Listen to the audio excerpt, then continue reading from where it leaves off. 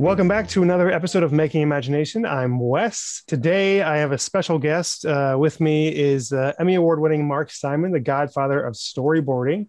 Um, today we're going to be talking specifically about storyboarding, but he does so, so much more directing, producing, writing, author of several books. He's a speaker, entrepreneur, uh, and, and so much more. Uh, in terms of storyboarding, his, some of his credits include Stranger Things, The Walking Dead, Gossip Girl, uh, Doom Patrol, Woody Woodpecker, Dragon Tales, The Waterboy, Dexter, and honestly, that's just scratching the surface. So I'm very excited. Uh, thank you for joining me today, Mark. You bet, Wes. It's, it's good, uh, good to meet you. I know we have an old friend in common, so this is great. Yeah. So uh, today I did want to uh, dive in specifically to storyboarding. Uh, I know you kind of do a lot um, of other things, but you are kind of the godfather of storyboarding for for several reasons. And so I kind of wanted to explore this aspect uh, specifically of animation, but um, I think uh, live action as well. Uh, the first thing I kind of wanted to ask you is, what is the essence of storyboarding? You know, is it is storyboarding? Is it about staging? Is it about character beats? Is it about pacing? Is it previs? I mean, kind of what is story art? I guess to the to the layman. Well, the easiest way to describe it, it's a comic book version of a script before it's shot. Uh, so really, what we're working with, uh, we're working with the director to get their vision to demonstrate to the crew what they want. So I'll, I'll give you a, a, quick example. Like on The Walking Dead, we have on every day we have anywhere from 500 to 700 people working, and you know we've got a script that we have to figure out what we're doing in eight days. We have eight days of prep, and then we shoot for eight days. Wow. About halfway through that eight days, we get a final script about day four. And that's when I come in and I work with the director who now has an idea of what they want. And I'll illustrate. We don't do the entire thing. We don't have time for that. We just do the scenes that have to do with stunts and special effects and fancy camera moves. But I illustrate the director's vision of every shot on these complicated scenes and that goes out to the crew. So now the entire crew is working towards the director's vision. Because if you read a script and I read a script, we have totally different pictures in our head. But the only picture that matters is the director's vision. So my illustrations, if I do it right, is the director's vision, so that all 700 people now have the director's vision, and we're all working towards one common goal. Okay. Now you mentioned um, specifically for The Walking Dead, um, getting a couple days lead time to, to do some of those boards. Is there ever kind of a scenario where, um, say, it's shoot time and we have to reboard something uh, today, or, or, or just is that less common? It's not necessarily that we're reshooting something today. I mean, that happens every once in a while, uh, but generally, if they're already shooting, the director's got too many other irons in the fire to sit with me. So, you know, my work is done beforehand so that the the uh, production management can plan and budget, stunts can can be fully prepared and trained up, and the special effects and visual effects can be prepared and starting to put their elements together and know what they're going to do live versus what's blue screen or green screen. So it's it's what I do is all part of the prep there's always changes that happen because of a location that's not available, a new creative idea comes up or something. And the storyboards allow production to be so well prepared that it's easy to make an adjustment. Without properly planning, any one change can throw everything in a, into an uproar. But if you're only changing one thing and everything else is well planned, it's a lot easier to do to creatively move along with what you need. So uh, now that doesn't mean there's not last like last second things. So, for instance, right now I'm uh, I'm storyboarding a really big episode on Fear the Walking Dead, and we start shooting on Tuesday, but Friday and Monday are holidays for the production, and we're finishing up this weekend on the storyboarding. And they keep changing the sets, which are affecting some of the shots. So even today, I was making changes on it but I have three more days of uh, of drawing because we've got hundreds of more drawings that I have to finish before they start shooting. Holy cow! huh. Okay, yeah, that makes sense. I mean, my my limited experience uh, with production has been the more prepared you are, the better the better off you are. Uh, so, you know, you have authored a lot of books um, among the many things that you have done. One of them is called, you know, storyboarding motion in art. Mm-hmm. Uh, is that kind of how you tend to think about story art and, and approaching it? You, you tend to think of, you know, everything has to be moving. Yeah, look, uh, both live action and animation, it's moving pictures. So you know, in a still frame, I'm trying to represent what's happening. I'm representing not only the visual layout of each of what the camera is going to see for each shot, but hopefully helping to tell the story and breaking down the special effects and coming up, with you know, figuring out how to, uh, what kind of camera lens oftentimes will list on there on the storyboards. You know, all these different things that help the production create these moving images that we all love to watch. So our still art becomes motion art. But these days, with the software that we use, the Storyboard Pro software that I worked on, we're actually able to create an animatic as we draw. Now, an animatic is basically a video storyboard. It's camera moves or layer moves of the artwork that I'm creating in real time as I'm drawing. So now it's moving artwork showcasing hmm. what the animation or live action is going to look like when it's uh, when when we actually shoot it and finish it.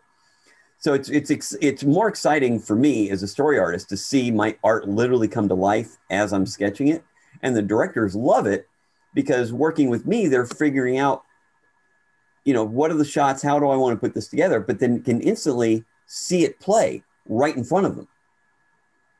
So they know if the shots are working. So we're working out literally the huh before they shoot it. Every director loves it. Uh, they just absolutely love the process I work in. And, and very few artists work exactly the way I do, which is one of the reasons I create the LinkedIn learning courses, I write my books, and I lecture, because I'm trying to get more people to work like I do in storyboarding. Because every director tells me, oh, I've never had this experience before. Well, they should. Everyone should work this way. Huh. Huh. That's, a, that's amazing. I mean, the range of projects that you work on is, is is pretty broad. Yeah. Um, uh, does that sort of, I guess, how does that inform the way you approach? Uh, I guess sort of staging for your storyboarding. So, for instance, if if you know the sky's the limit, there's no budget. You know, mm-hmm. you know, I, I, assume you could board this thing pretty ambitiously, um, versus there might be stylistic restraints or um, or budgetary restraints um, that might push you towards more conservative board do those things play into when you're boarding early on or does that sort of get weeded out later it does but but it's always the director's vision i'm not just creating these things off the top of my head. I'm working one-on-one with the director okay. to get their vision down. If i was doing my vision i'd be the director which i often am. And and i love doing my own breakdowns. But on a lot of shows there's very specific ways the show is shot. You know, like on uh, on Dynasty, another show that I storyboard. They have a very particular way they do close-ups. They don't never do extreme close-ups, and mm. and the way they frame things is very specific to that show. So watching that show helps me storyboard closer to what the finished product is going to look like. So being a fan is helpful. Another thing I do is when I get the script uh, and I get a call for a project, I find out who the director is. And if I haven't worked with them before, I go through and I look at other recent projects that that director has worked on. Because every director has a different visual style.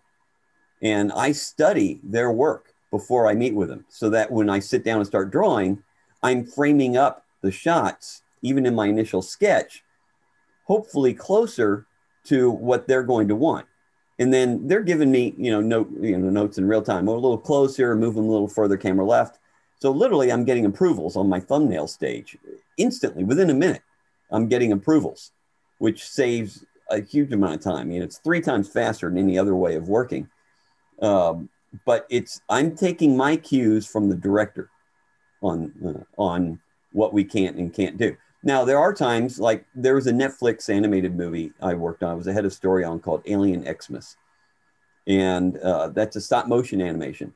And as we were working through development and pre production, and we started building all the puppets, the puppets, some of the puppets had to be so small they could only do certain things. Hmm. So the limitations of what that type of animation could do did dictate some of the actions on how we were drawing our storyboards because we wanted to be accurate to what was possible. So when I would find that kind of information out, I would then pass that on to my crew so we were being accurate. Yeah, that makes sense. Interesting. You mentioned uh, thumbnailing too. Is that is that something you do for every storyboard you do? Kind of thumbnail it out first. Yeah, everyone does. I mean, it's just that's just common. I mean, you, you never go to finished art because you're going to throw a lot of stuff away. So yeah. thumbnail is just a really really quick sketch. You know, I will sketch out something in 30 to 60 seconds, and that that gives the director the ability. That my sketches are good enough. You can see exactly what's going on, and then I want the director to tell me, did I get what's in their head? If not, let's fix it right now. And then once we're done with the entire sequence, we go through, we watch it play out, make sure we didn't miss any shots, that it's playing properly. Then the director goes off to do everything else, which is a huge amount of work they have to do. And I, uh, I shut down my, uh, my Zoom call, like we're on right now. And then I spend time and clean them up. I put in all the proper notes. I make sure everything's numbered uh, properly. And I make the drawings look really cool because it's also an inspiration to the crew. Not only does it help tell them what their job is, what they need to do, but if I can inspire them, that's going to make the project better. Okay. You mentioned on, you know, things like The Walking Dead, you know, you, you don't necessarily need to board out every single shot, every single, you know, for the whole episode. Um, is that generally, um, is that generally just true across the board, whether you're working on films or shows that you don't sort of board every angle or does that change from project to project? In live action, you never storyboard everything. Okay. Because there's no time for it. You know, a giant Marvel movie will storyboard more than most because so much of the special effects. But animation, everything is storyboarded. Every couple frames is storyboarded. They're the it becomes the keys of the animation, all the extreme motions of every single motion the character does. That's wow. animators use to work from. But in live action, we're very specific on things that are necessary. You know, if it's just two two people having dinner, we're not going to storyboard that because that's easy to shoot. You don't need to plan that. You just point the camera. The director says, "I want it here or here." Nothing needs to be planned for that. It's easy to to budget and to plan how long it's going to take to shoot. But if you've got two people having dinner and there's a ghost floating through and interrupting them and things are being picked up off the plate, well, what things? What's happening? What kind of interaction is the ghost going behind them or in front of them? Do we need to have special effects forks? Is it all going to be CG? Do we need to blue, be blue screen or green screen? Is it just foreground elements? You know, are there certain things that need to be built into the set? Do they fall backwards? Do we need to have a stunt double for some of those things? Hmm. It ramps hmm. up. There's a whole bunch of things that are in consideration when you've got visual effects involved. that we would storyboard. Huh. Yeah. That's interesting. Or even big camera shots with, you know, cameras up on a crane or it spirals down or it moves through a pipe. We'd storyboard that because that helps the DP and the gaffers figure out what is it that they need? What's the equipment they need? Do they need a, a certain kind of crane? Can it be a smaller crane? Does it need to be a 30 foot? You know, like today I was storyboarding a shot that starts close on a character and pulls back and, and goes way up to a 30 foot crane shot overlooking a virtual set. So now how high do we how high do we can we go? How where's the set extension going to be? Do we need to bring in more props or or do we need to move some things around so we don't shoot off the backdrop? Uh, what kind of lens uh, does the dp have to put on so that we can make this look bigger than it actually is? I mean there's a whole bunch of things that go into it but that's one of the reasons i storyboarded that shot Okay. Now you mentioned in animation, you know, when you're when you're boarding for animation, you'll do a lot of extremes, um, and some of those poses, um, which is really very much a lot of the acting of animation. Two questions: One, has it sort of always been that way for animation, boarding animation, or has it become a more recent thing? Uh, and two, um, does that kind of mean you have to bring some of your acting chops to the pages as you draw? Yes, yes, and yes. Uh, it's always been that way for animation. Okay. Um, storyboards are literally the blueprint of of what the animators need to do, and and you know, for for instance, if you're doing a 30 second uh, piece, you know, you could end up with 300 drawings, two 300 drawings for 30 seconds. Wow. Uh, it's, it's a huge amount. Okay. Um, a lot of it depends on the amount of action that's happening. Sometimes you don't need quite as many drawings, but you know, if I have a character chewing and it's really funny, if the mouth is skewing all over the place, I'm gonna have a keyframe here, keyframe here, keyframe here, keyframe here, keyframe here, you know, all those insert just for one chew. I might have 10, 15 drawings if it's a hmm. really extreme motion that we want to represent. So yeah, animation always uh, is always heavy, heavy, heavy on the amount of storyboarding uh, drawings that we have to do for it. Huh, interesting. Do you find yourself discarding more drawings for animation projects just because there are more drawings to draw, or, or is it sort of um, you, you're more strategic about the ones you create because there are so many to do? Yeah, I mean, anytime you're doing more drawing, you're going to throw more away. But the other thing that happens if you're doing TV for animation, you know, like uh, Woody Woodpecker, I did both the TV series, the first series, and the uh, and the movie. And again, because it was a TV series, we did a tremendous amount. But in TV animation, you get notes either from the director or uh, generally the director or sometimes the uh, storyboard supervisor. But then the artist does their own breakdowns. You're not doing shot by shot normally. Okay. Sometimes you do, but usually in, in animation, the story artist is the director of breaking down every shot. So because of that, when the main director or the story supervisor looks at it, they might want you to change entire sequences. Whereas I never get that far. Now, that said, most story artists, the way they work in live action, get notes from a director, go away, do their thumbnails, then come back. Two thirds of it could be wrong because they don't get approvals as they go. I almost never have any changes unless there unless the script changes. I get approvals on my first pass. So I'm doing maybe half as many drawings, which means I can spend more time making my drawings look better. And directors are happier because they they feel that now their vision is being represented. So it's so I have happier directors and I'm quicker at doing it. Hmm. You mentioned boarding for Woody Woodpecker, both the film and the show. Um, Woody Woodpecker was one that I loved growing up um, you know, it's kind of established property. Um, I does that do you sort of feel that weight when you're going into a project like Woody Woodpecker? Do you sort of feel the sort of weight of like this is an established IP, this is a beloved thing versus something more original, or is it just sort of another project that needs your attention? Um, are they all sort of the same? It's not the same, but I don't feel pressure. It's fun. Okay. I mean, one of my favorite characters growing up This is my dad's favorite cartoon character and he and I used to watch them together when I was growing up. So working on it was a treat. Oh man, that's awesome. Pressure. It's like I get to work on Woody Woodpecker. I mean, this is so freaking cool. I mean, and there were times when I'd be working like on the movie when I was working with the director, I would say, but that's not the character. He needs to be doing it this way. Let's make huh. it bigger. Huh. So, so you know, I I would study I study the characters. I I try to know them as well as I can, and then I push as much as I can. I don't take oh, you know, it's the director's final call, but as a story artist, it's my job not only to get their vision but try to plus their vision. Yeah. Huh. Okay. Yeah, that makes sense. Now you've mentioned that you are also a director um, of animation and things. Do you find do you find that it's easier to just sort of board your own projects, or or do you find that it's that you prefer to have another voice um, to to sort of guide what you're doing in terms of um, just one less thing to make the final call on.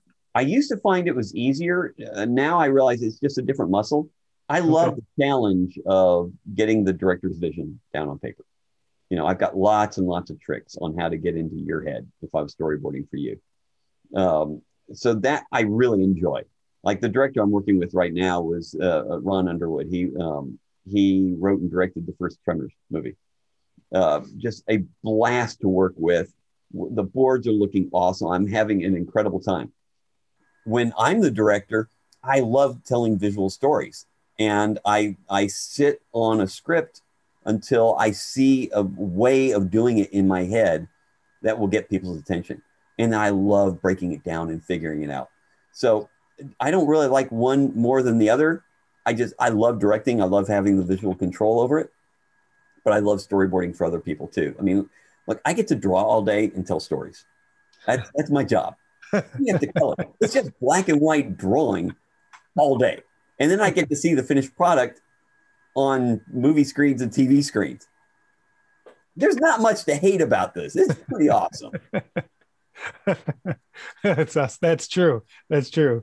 So, you know, animated animated uh, shorts and films historically, and even I think um, presently, it seems like there's different approaches that that shows and movies take. Um, mostly shows, actually, I should say, not movies. Um, where sometimes there's a script and you're you're boarding from the script, mm-hmm. but some shows um, some shows are writing the episode in storyboard form. Um, there sort of is a very loose script, maybe it's dialogue. Um, have you kind of worked both ways? And I have, yeah, um, yeah. It's called board driven versus script driven. Okay. And uh, board driven is more like the classic Looney Tunes, where it's the visual gags that sell it, where the humor is, instead of written dialogue. Um, more and more shows now are all script driven. Um, uh, SpongeBob was kind of a mix because it's such a visual show. Um, when they were hiring story artists on um, Phineas and Ferb, I did not work on it, but a good friend of mine did. They hired story artists who were also seasoned writers because it was a board driven show.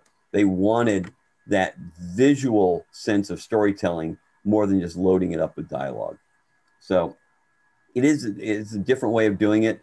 Uh, I, am pretty sure that Primal, which is that cartoon uh, Cartoon Network series by uh, Genndy Tartakovsky of the um, of the caveman and his pet dinosaur, which is brutal but incredible. That look, and again, I haven't worked on it, but that looks like a board-driven show because there's almost no dialogue at all. It's just the most incredible visuals because that's what Genndy is so fantastic at. He, he also did the Samurai Jack. So same kind of visual style. Yeah, yeah, yeah. Um, Samurai Jack is like my favorite show, and I, I know that one was was heavily board driven, um, just in terms of coming with the gags, and their pacing was was pretty flawless um, with that show.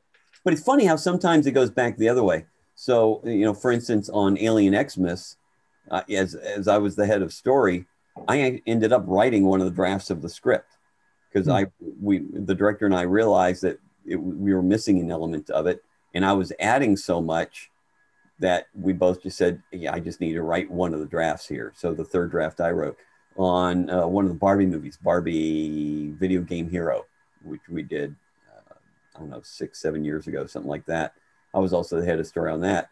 I wrote, uh, I rewrote the first act on that.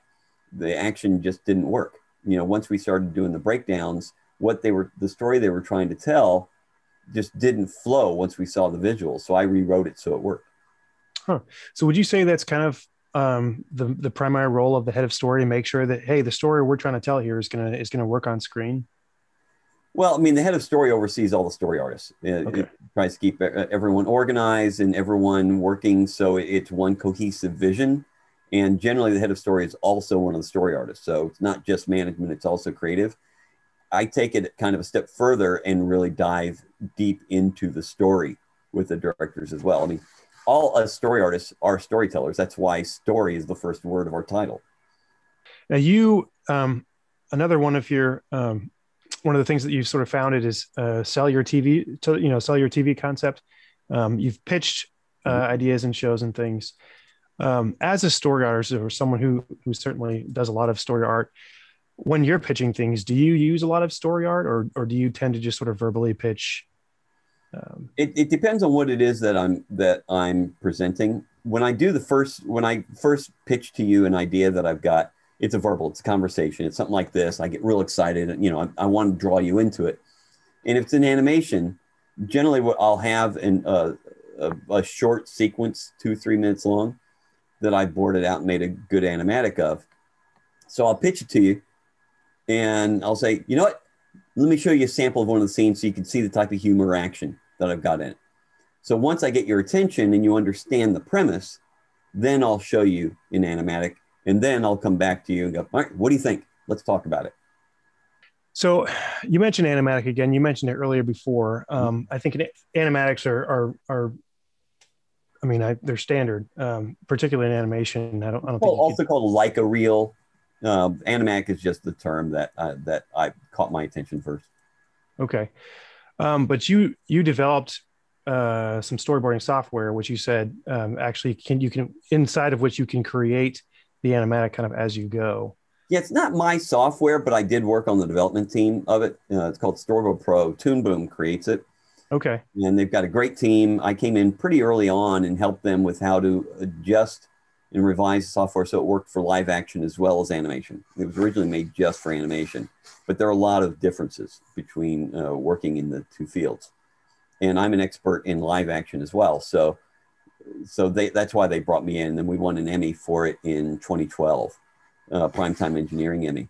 Um, but yeah, the software allows me, it, it, the software is a combination of Photoshop, After Effects, and Premiere. So I'm able to draw, keep it in layers, move the layers, add camera moves, add audio, organize it with proper numbering, put dialogue, export out to PDFs, and export a movie all in one software. I never have to leave. So it, it, it saves, t- before it used to take us 10 steps to create an animatic, jumping back and forth between multiple software. So any one change meant going back 10 steps and coming back forward again. In Storyboard Pro, there's a change anywhere in it. I make that one change, hit play. It's a huge difference. It, it, it, it changed the industry, that one software. yeah, that's no surprise. Uh, the very, very limited experience I've seen just with animatic creation, it's exactly what you said. Those three programs, it's Photoshop and After Effects and Premiere, and it's like all this gets a little bit clunky. yeah. This software is all those put together and better because because the way it organizes just simple little things like renumbering because numbering is hugely important to stay organized. One button i click one button everything renumbers. It used to take a half a day to renumber a, a, a big project in in photoshop. Now it's literally a second. Uh, you've, you've already kind of answered this one um, but you know I've, I've heard it said that the editor is kind of the final storyteller in any project. Um, would you say that the story artist is maybe the second or third storyteller in a project? I'd say we're probably the third. I mean, the first is the script, second is the director. The director filters their vision to us, and then you know, uh, you know, what we do guides everything else. So, and, and now that the story artists also have the ability to make the animatic, we're doing the first pass on editing. And uh, but editors are magical what they can do on on changing the tone and pacing of a story. I'm I'm constantly amazed how how much a great editor can do to enhance a project. Hmm. And when you're working with an editor, do they take the export of your of your animatic and and work with it there, or do they go back into the storyboard software and and change things there? They usually edit in their software, which is a mistake. And it's one of the things I've been writing about for a while, and I'm uh, I'm working on changing the industry. Uh, I'm I'm trying to change the way editors work because it's wrong. It's just they're it's lazy on their part, and none of them like to hear it. Uh, but it doesn't matter. It's there's newer technology, and they need to jump on board. They need to be working in our master software in Storyboard Pro, because as they're doing things, we can keep one master file. So as a as an editor going through, they'll often say, you know, we need a close up here or we need an establishing shot there. They could just simply click a add a blank frame, write what they want, close down the file, we open it and add it in. It doesn't matter how many times you do that, it's perfect organization. And I've done a number of projects where no one leaves Storyboard Pro until it gets into production. Flawless. It's amazing. Hmm. Every single project that I've worked on where the editors, uh, which is any established studio, the editors will take it off in theirs and then come back into Storyboard Pro, screws up every time. Mm-hmm. There's prob- massive problems every time. And whenever I sit with production, I say, this is what's going to happen. So, yeah, that happens every time. I said, well, this is how you change it. It's real easy. I do it. I can I can set it up for you. So it's but it's it's um it's a bigger change than you think it would be to get the industry to work the way I want it to work. I'm slowly getting them there. And because I'm a big voice in storyboarding, uh, I've got a, I've got a better shot than most. And I will not stop fighting for it until everyone understands and works the most efficient way that I think production can work. Oh, that's awesome. uh, you mentioned um, being a big fan of Woody Woodpecker with you and your father.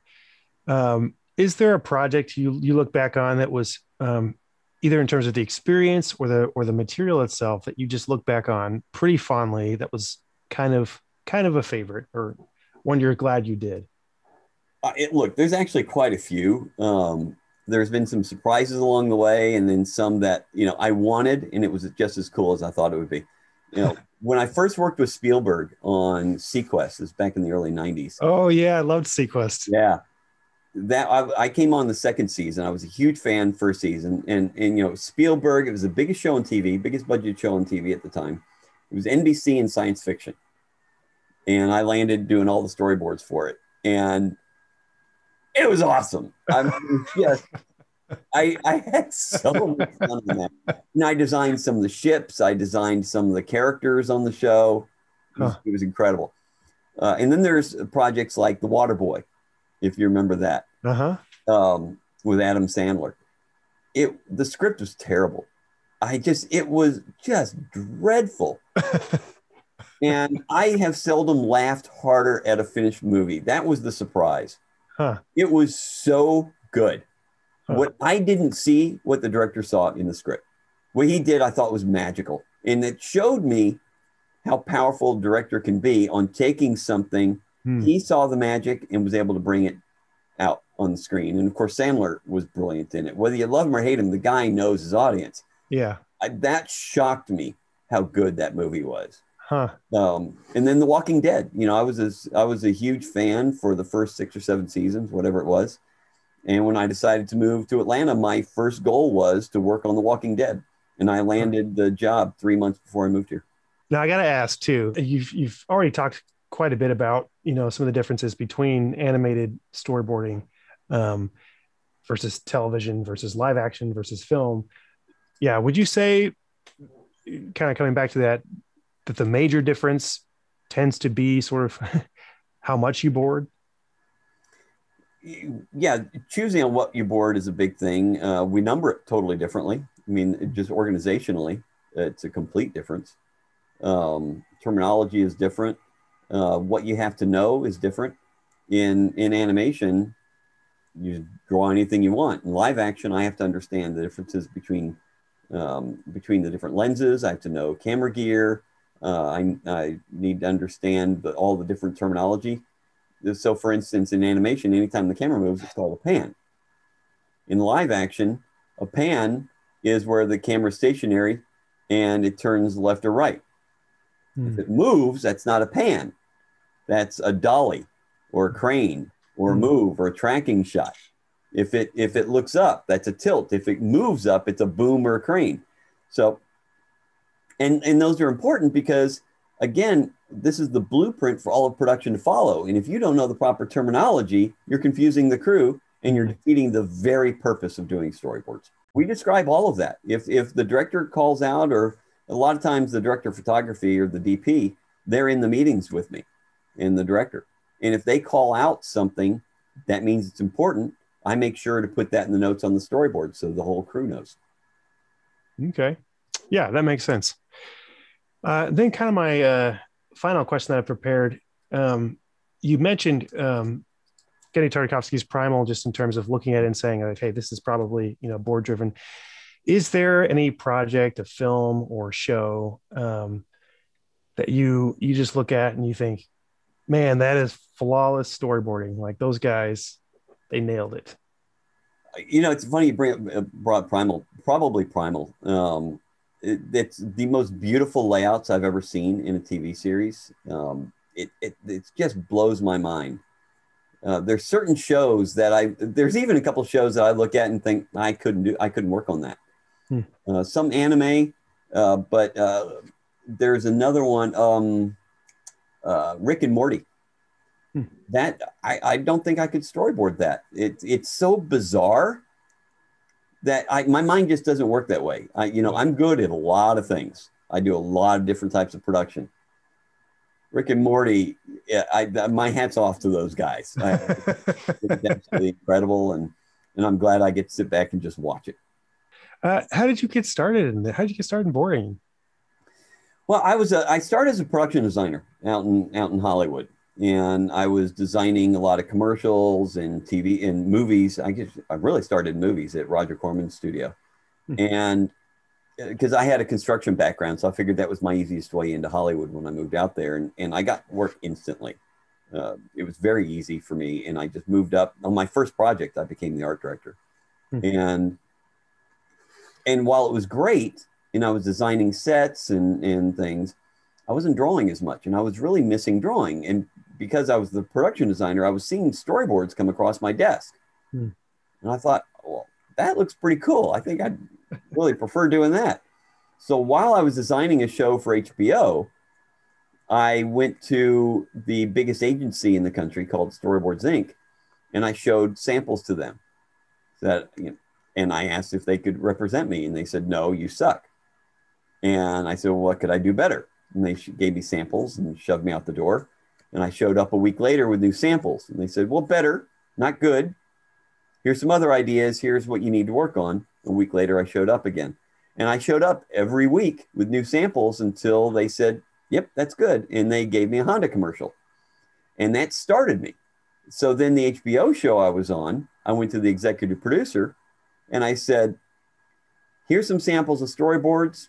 I'm sure you're going to need them at some point. You're paying for me anyway. Let me do them for you. And a week later, he called me and said, Yep, I've got an episode. I'd like you to storyboard for us, and I'm going to pay you extra for it. And that was my first big credit. And I, I guess I was doing them both side by side until Spielberg came in to Orlando. This is when I was living in Orlando. When he brought seaQuest in, I walked over and met a bunch of people. And within 15 minutes, I was offered storyboarding, and that was it. I went full time storyboarding on that show. Holy cow. That's so cool. uh, Mark, I've appreciated this conversation. Uh, any final thoughts or any last words? Look, anyone who wants to, who loves drawing, storyboarding is a great gig to get into. Pays well. I love literally every day. I get up and I cannot wait to dive in to uh, to what I'm doing again. Look, it's it's cool. I have fun. No such thing as a starving artist. Parents, there's more jobs for artists than any other career in the world. So support your kids. Artists are what make life worth living.